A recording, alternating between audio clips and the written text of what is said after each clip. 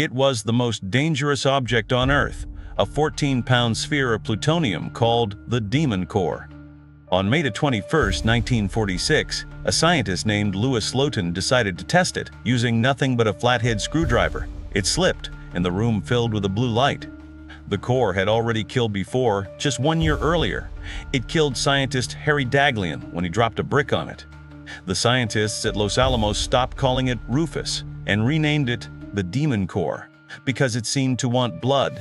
The experiment was insane. Slotin was manually lowering a beryllium shell over the core to push it to the edge of criticality.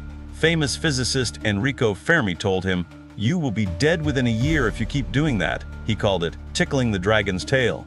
At 3000 PM, the screwdriver slipped. The top shell fell. The core went critical instantly. There was no explosion, just a flash of blue light and a sudden wave of heat. Slotin reported a sour, metallic taste in his mouth. Slotin didn't run. In a split second, he used his bare hand to flip the hot beryllium shell off the core, stopping the reaction.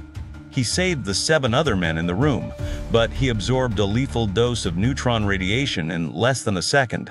He walked out of the building and vomited immediately. He told his colleague, well, that does it. He knew he was already dead. His DNA had been shattered like glass, but his body just hadn't realized it yet.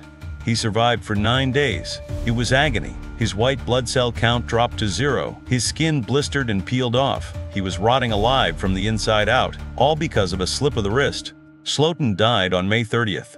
The Demon Core was never used again for manual experiments. It was melted down and turned into a nuclear weapon, devastating in death, just as it was in life. Science has a price, and sometimes that price is paid in blood. If you respect the danger of the invisible, subscribe. We are just getting started.